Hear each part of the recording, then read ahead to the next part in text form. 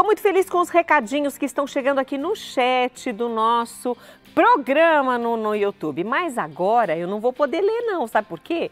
Eu quero mostrar para vocês, depois eu leio, mas eu quero mostrar para vocês as pessoas que já estão mandando fotos, mandando esses recadinhos de amor hoje pelo programa Mulher.com. E a gente vai ver agora mais uma foto e mais um casal aí lembrando dessa data. A Vera Alves, quero agradecer a Deus pela vida do meu esposo. Olha aí, gente, que coisa linda. A Luana e Rogério que mandou aí através é, da Vera Alves. Então, legal, Luana, valeu. A Alice Martins, ela é de...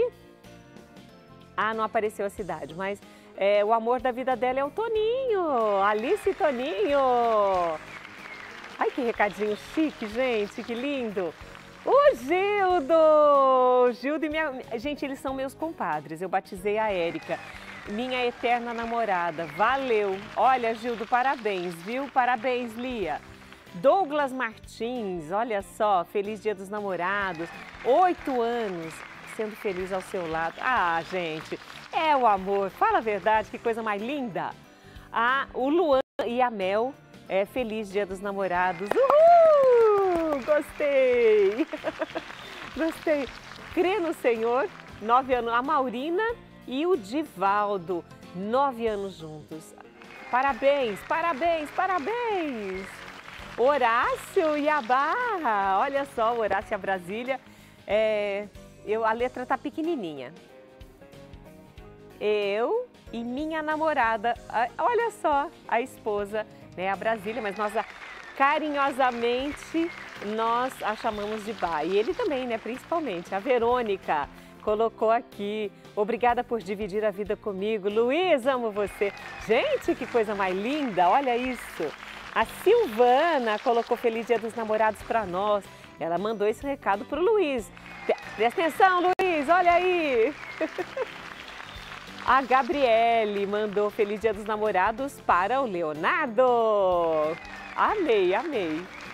A Cláudia Miranda é, mandou para o Osmar. Gostei, Claudinha. Olha que foto linda. É na descontração, oh delícia. O Tiago, o Tiago mandou, cada desafio é mais fácil de enfrentar quando estou com você. Ele mandou esse recado para Bárbara. Gente do céu, Tiago tá lindão ali. A, a Milton mandou para Dulcineia, com as graças de Deus, 12 anos juntos. Parabéns, Hamilton! Que, gente, como é gostoso ver esses recadinhos. Mas tudo isso, tudo isso só começou porque um dia eles se encontraram, a química de Deus uniu através do olhar esses dois e eles começaram a namorar. E é esse o tema do nosso bate-papo. Porque eu tô aqui ao lado da Rita e ela que tem feito um trabalho magnífico de catequese, a gente já conversou um pouquinho, né, Rita? É, e ensinar, a ajudar, orientar os casais a, a namorarem para terem depois um bom casamento no sacramento do matrimônio é bom demais. Seja muito bem-vinda ao programa Mulher.com. Muito obrigada, Rita. É um prazer estar aqui. E é um prazer mesmo eu ensinar, eu levar a sua experiência, mostrar né, como é bom é, caminhar juntos com o amor de Deus, né, dentro do casal, desde o namoro, desde o conhecimento, é sempre muito bom, principalmente né, para que tenha um, um matrimônio muito feliz. E o namoro é, é um tempo para as pessoas se conhecerem, né? Sim. É necessário esse tempo do namoro para se conhecer? Com certeza. É aí que começa tudo. Porque se você não conhece a pessoa, é, você casa com ela e vai ter surpresas que talvez sejam desagradáveis. E de repente você está fazendo uma escolha sem conhecimento. Então é muito importante esse tempo do namoro, é muito importante o tempo do conhecimento. Você tem que é, conhecer, conhecer a, a pessoa que você quer ficar para o resto da vida juntos, porque é assim que nós queremos o matrimônio. É claro, nós queremos ficar. Ninguém casa pensando, ah, não, eu vou separar. Não. É. Todo mundo pensa, ah, escolhi o amor da minha vida para o resto da minha, da minha vida. vida. Seria essa, né? Eu escolhi o amor para o resto da minha vida. E, mas tem pessoas que namoram por 10, 11, 12 anos, aí falam, não, agora a gente vai casar, porque a família começa a fazer pressão, casam Sim. juntos, é um desastre. Ou seja, não se conheceram. Não se conhecer. Porque quando se conhece e você vai para o casamento, aparecem os problemas, as pessoas aprendem a, a, a, lidar com eles porque aprenderam a se conhecer. Sim, os problemas eles continuam, mas você tem mais maturidade e você tem é, já o conhecimento. Então você pode, você pode saber antecipar, é, antecipar a resposta é, ou o conhecimento futuro. Eu acredito muito nisso. Você é agente da pastoral familiar. Sim. Então você lida com famílias? Sim. Como é esse trabalho de orientar para que as famílias sejam fortalecidas? A gente vê o um mundo hoje é, banalizando a família, né? E nós da igreja tentamos valorizar a família, formar, formar famílias mais é, é, fixadas em Deus, mais alicerçadas no amor de Deus. Como é o seu trabalho nesse formar e ajudar a formação de famílias? Acho que o mais importante é colocar para eles a presença de Deus. Uma família, ela não é constituída, ela não consegue é, se manter sem essa presença. É, nós temos muito uma, brinco muito com uma dinâmica que a gente de uma montagem de um quebra-cabeça e né, que a gente faz com que os, na realidade, no, nos, os noivos fazerem, mas é assim, eles têm que montar um quebra-cabeça e fica sempre faltando uma peça. Então, né, a gente tira de propósito essa peça e fica sempre faltando isso. E aí a gente vai explicar para eles qual que, o que falta. Falta Deus, que pode ter tudo pode ter tudo, mas se não tiver Deus para que você ore, para que você reze, para que você peça intercessão, uh, para que Ele te sustente na sua união, no seu, no seu casamento, no seu lar, fica muito difícil. Então a presença de Deus é muito importante. Lá na pastoral a gente fala assim que quando eles vão se casar, eles entram dois e saem três. Sim, é, a gente, eu ainda eu só vou um pouco mais além, eu falo assim, a gente entra um e um entram separados, mas saem três. Né? Porque Entra um e um. Um e um. Depois saem, saem três. três. Gostei disso. São pessoas. Né, você entra como um indivíduo, mas você sai de lá né, como uma família já. Então... Quais os valores? Você falou sobre é, Deus é, nesta relação, que é importante ter Deus. Se não tem Deus, como um quebra-cabeça, faltando uma peça, falta tudo nessa relação. Falta tudo. Mas quais são os valores principais que são passados para esse casal, para eles levarem a vida juntos? Olha, ah, ele precisa, é assim, essa, é, do conhecimento. Ele, a gente, quando chega junto com um casal, né, para um casal que vai, vai se casar ainda, a gente vai perguntar para ele assim, será que você se conhece? Essa parte do conhecimento. Porque o namoro, ele faz parte do conhecimento, ele é necessário para o conhecimento. A gente tem, né, você precisa conhecer a família do outro. Você precisa é, conhecer o outro, se, é, o comportamento do, né, da sua, do, do, seu namorado, do seu namorado, do seu pretendente, no, no, momento, no local onde ele vive. De repente ele é uma pessoa agressiva com a família, agressiva com os filhos, é, com, com os amigos, num trânsito, no, no local. Será que ele não vai ser agressivo com você? Então, esses detalhes você precisa observar no namoro. As atitudes dele, você tem que, tem que notar. É isso que eu quero para mim? Porque uma pessoa, depois que casa, ela não muda. Isso é verdade. Ela não muda automaticamente. Claro que Deus faz toda uma diferença na nossa vida. As pessoas, né? É, é, existem sim casos de pessoas que mudaram, mas isso é muito raro. E isso depois de um longo sofrimento, de uma longa luta. Então, se você consegue conhecer antes, isso vai facilitar. Isso vai fazer com que você compreenda o, o que a pessoa que você está do Não, e os tempos modernos permitem isso permitem sim, que eles se conheçam. Sim. E não no passado, em que os casamentos eram arranjados, ia Exatamente. conhecer a noiva na igreja e nem o rosto dela ele via no primeiro momento, porque ela vinha com véu. Só na hora do sim que ele erguia, né? Então, porque não sabia, os pais arrumavam os casamentos. Agora, nós não estamos vivendo esse tempo mais. Então é possível conhecer. É possível conhecer. Minha mãe sabe falava assim: é, veja como ela trata a mãe e o pai, Sim. veja como ele trata a mãe e o pai, porque é como exatamente vai tratar você. Com certeza, e isso é muito claro e a gente né, é, acompanha isso com casais né, casais hoje, né, de que estão tendo problemas e exatamente né, são alguns pontos, vai ver que ele era igual, ele não mudou nada, ele, você casou com aquilo que você realmente conheceu, só que você não prestou atenção no que precisava, nos detalhes que precisava conhecer. Esse é um detalhe que as, uh, tanto o, noi, o namorado quanto a namorada deve prestar atenção. Sim, com certeza. Tem outras coisas que também a gente tem que, opa, peraí, deixa eu prestar atenção que isso não está legal. Olha, é, por exemplo, quando você a religião. A religião é algo que interfere no casamento. Você tem que estar preparada para isso. Não que não vá dar certo, existem pessoas, muitas pessoas casadas que hoje que são de diferentes. religiões diferentes. Porém, precisa haver um, um, conhecimento de ambas as partes. Se um vai aceitar a religião do outro, se um vai aceitar né, como ele vive, será que você vai acompanhar né, aquela pessoa? Se você vai deixar a liberdade de ver a sua fé? Então, isso também é uma coisa que é importante e que você tem que estar preparado. E como é gostoso quando, assim, aí a gente puxa né, mais para o nosso lado, como é gostoso quando a gente namora uma pessoa da mesma religião que a nossa, porque você vai poder né, ir à missa junto, é rezar junto, o participar junto é algo diferente. É Isso estava é na minha gostoso. lista, viu? Quando eu fiz a minha lista, nos quatro anos de oração, eu coloquei lá. Hoje, o Carlos também é coordenador da pastoral junto comigo, é ministro extraordinário da Sagrada Comunhão. A gente faz ajuda em tudo que podemos na igreja. E isso é bom, viu, gente? Isso que ela falou presta atenção porque realmente é bom demais. Mas o tema continua, gente daqui a pouquinho, a gente só vai para o intervalo e volta para retomarmos aí mais uma parte desse tema. A gente volta já. E o nosso canal de mensagens hoje aqui tá demais, tá bombando. Tem muita gente querendo mostrar para o seu amor que tá deixando um recado para ele, para ela aqui pelo programa Mulher.com pela TV. Olha isso, depois vocês vão poder mostrar. Não se esqueçam de entrar no nosso canal no YouTube, arroba programamulher.com, o link do programa e mostrar o trechinho aí, ó.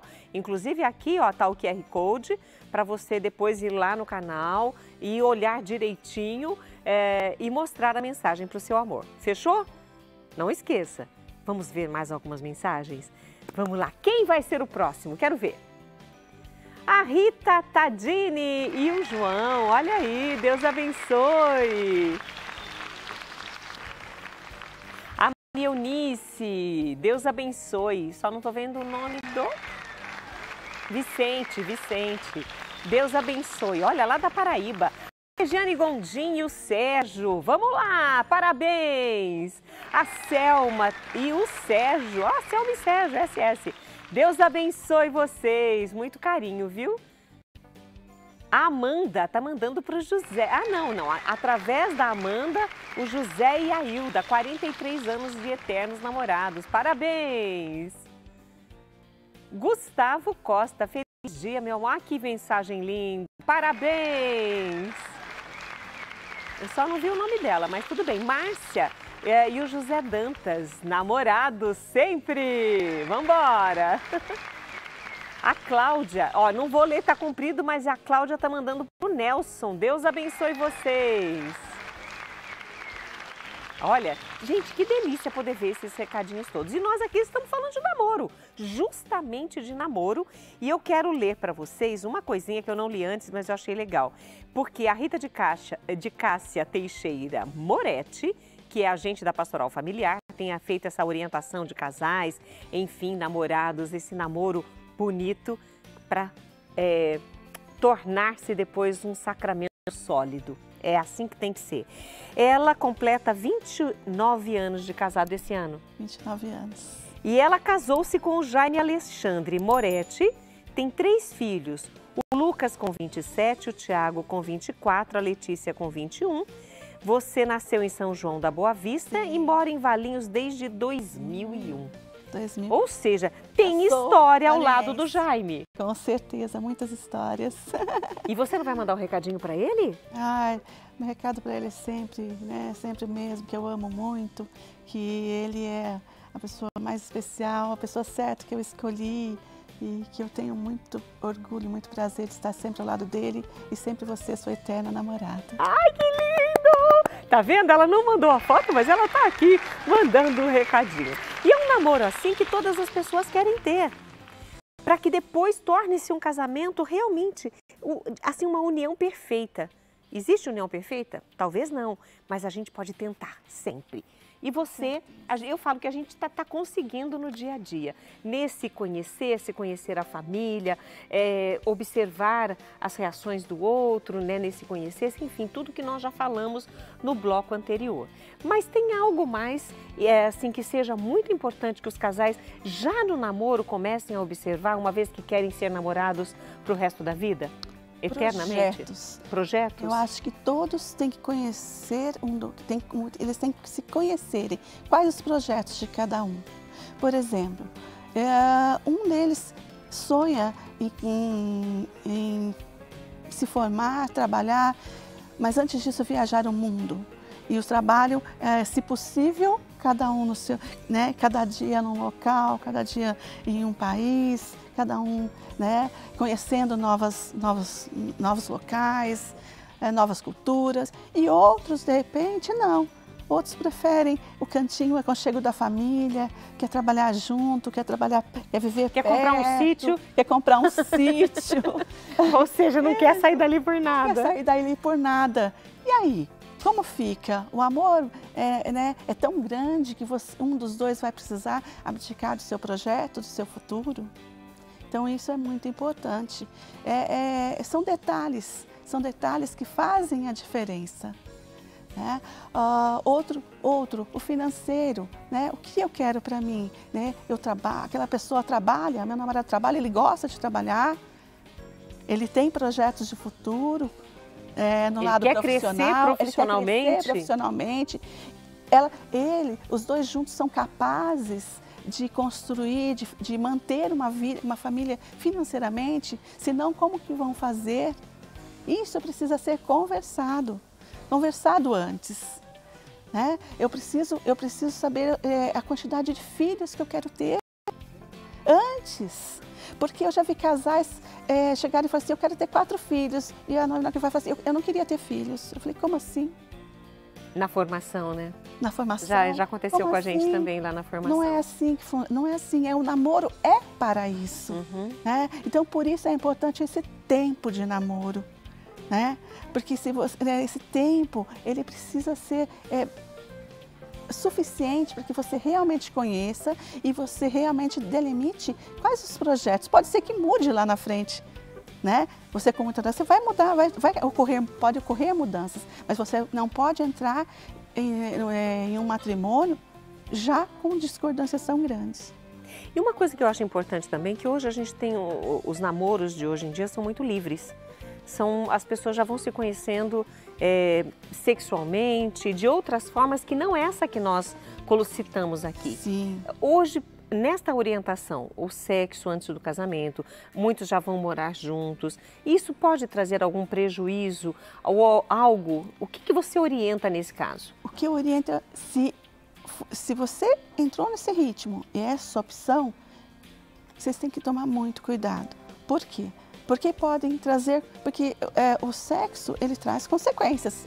Ele não é pecado, mas ele traz suas consequências de filhos indesejados e não é filhos é, não, não programados, é indesejados, infelizmente. E você vai ter que assumir e você vai ser, vai ser, você vai machucar, é uma criança. Você vai é uma vida. o outro, é uma vida. Ah, um, ah, com, um marido, com um namoro, um término de namoro, né, já nesse nível, isso vai trazer feridas profundas porque você vai ter que romper algo que você já está acostumado é, fisiologicamente. Uh, você vai trazer, é, é, você pode é, aceitar, não aceitar, um, rejeitar esse filho, ficar só para a mãe tomar conta. Essa mãe vai sofrer e esse pai lá no futuro, Será que essa consciência, será que isso, na hora que você te trazer maturidade, na hora que você tiver seus filhos, como vai ser a dor no seu coração? Então isso traz dor, isso traz mágoa, isso machuca, isso fere. E tudo que fere o outro, ao próximo a, e a você mesmo, é pecado. Então você não pode, isso daí é ferimento. Então o que você precisa é ter consciência do que você está assumindo. Deus te ama do mesmo jeito, da mesma forma, né? Mas você tem que ter a consciência de que consequências isso vai trazer para sua vida. Eu espero que o nosso bate-papo de hoje tenha ajudado os namorados que hoje estão conosco, porque são pequenas orientações, são pequenos detalhes de um relacionamento que a gente vai que foi a nossa primeira conversa, a gente vai se conhecendo e quanto mais a gente conhece, mais a gente se apaixona. Por isso eu quero agradecer, Rita, por você estar hoje aqui. Nós conversamos com a Rita de Cássia Teixeira Moretti, que é agente da Pastoral Familiar e hoje nos ajudou bastante. Esse bate-papo foi gostoso e se deixar, a gente fica conversando aqui Com mais certeza. um tempo. Muito mais. Mas eu espero que a gente tenha, de certa forma, ajudado quem está em casa, até para quem já está casado. Com certeza. Opa, peraí, preciso rever isso aqui, quem sabe. Preciso rever. Rita, muito obrigada por estar conosco. Eu que agradeço pela oportunidade. E feliz Dia dos Namorados para você e para o Jaime. Muito obrigada. Ai, que, que delícia! E